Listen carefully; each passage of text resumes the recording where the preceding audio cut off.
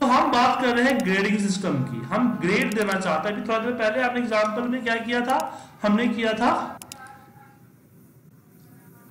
हमने इंसेंटिव दिए थे स्लैब के अकॉर्डिंग स्लैब के अकॉर्डिंग हम ग्रेड देना चाहते हैं। जैसे कि स्कूल प्रोग्राम में होता है कि अगर 30 से नीचे आया तो उसको मैं सी ग्रेड देना चाहता हूँ। 30 टू 60 में आया तो उसको बी ग्रेड देना चाहते हैं। 60 है। उसको बी देना चाहते हैं।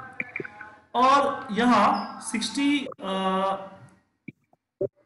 वन से लेके अगर 85 तक है तो उसको ए ग्रेड आएगा और ग्रेटर देन 85 ए प्लस आएगा। ओके तो यहाँ भी हम स्लैब इंसेंटिव भी स्लैब वाला स्लैब इस्तेमाल करेंगे, क्योंकि हर किसी के लिए कुछ ना कुछ है। तो हमने बोला कि अगर C3 अगर लेस देन इक्वल टू 30 है तो यहाँ पे C आना चाहिए।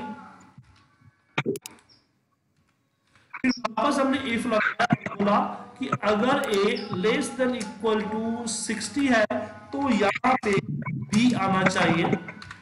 फिर वापस हमने इफ़ लगाया और बोला, अगर a less than equal to 85 है तो नहीं। तो यहाँ पे ए आना चाहिए अदरवाइज़ ए प्लस आना चाहिए। ओके तरह से ग्रेड आप दे सकते हैं यहाँ पे। ओके किया आपने? नीचे की तरफ़ ड्रैग कीजिए।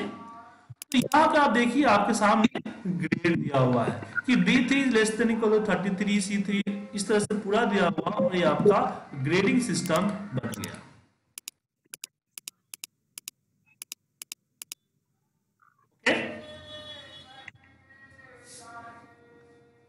क्लियर है सर